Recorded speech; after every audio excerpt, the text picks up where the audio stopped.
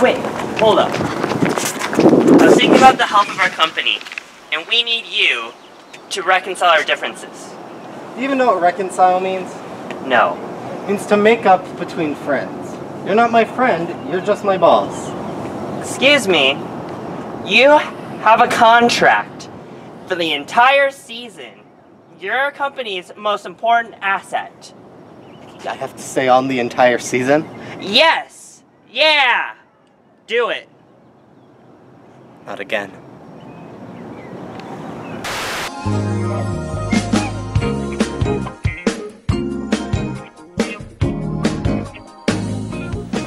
Hey kids! Today's word of the week is compassion. Means care for other human beings. Quality which is apparently lacking